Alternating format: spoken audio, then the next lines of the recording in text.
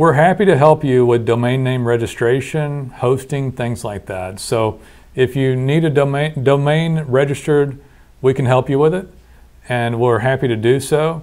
Um, it's important that if you bought a company recently or something's changed, the hosting information really needs to remain the same if at all possible. Um, it's an indicator that things have changed and sometimes can affect optimization.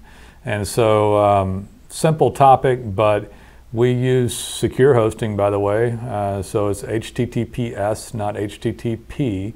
Uh, Google's asked for that. Uh, hosting is important as well uh, as your registrar and domain registration. The domain registration, that is called the registrar as opposed to your hosting account. They're two different things people get confused about sometimes.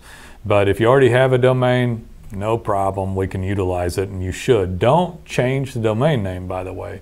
So, one common mistake is Google works off of trust and tenure.